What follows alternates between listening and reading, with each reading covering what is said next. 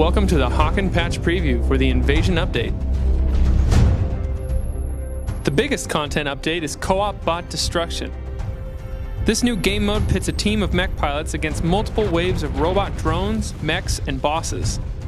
Gather a group of friends together to face the machine invasion or enter the quick match queue to find a party and then choose a mech. Waves of bots will spawn from random points and you must destroy every bot to complete each wave. After several waves, you'll fight against a boss mech that will require a coordinated attack to destroy.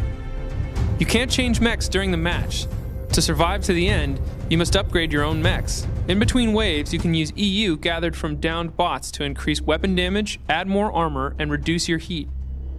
If you die during a wave, your teammates can revive you. But if your entire team dies, that's it. Game over.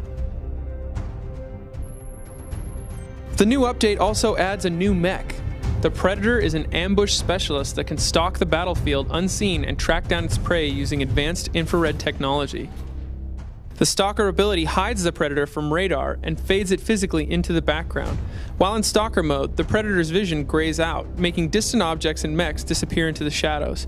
However, nearby mechs shine like a beacon, even through walls.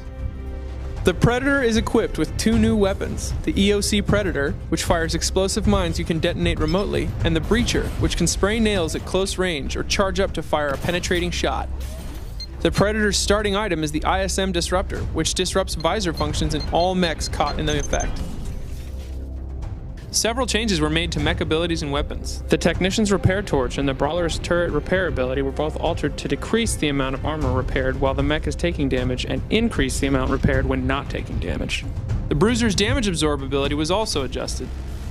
It now absorbs 50% of all damage while active, however, the duration has been significantly reduced, so save it for the right moment. The Infiltrator's camouflage ability has also been changed. The duration is now tied to fuel and the cooldown time was slashed so you can activate it more often.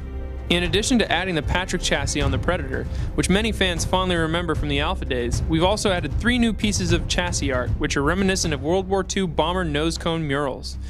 Check out the ZOS Ace, Res Monkey, and Bunker Yakuza. The new patch offers a new thruster and two new repair drones.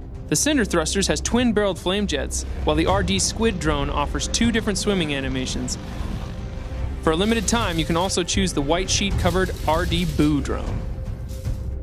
Obviously, we couldn't show you everything here, but thanks for watching, and check out playhawken.com for more information on the Invasion update.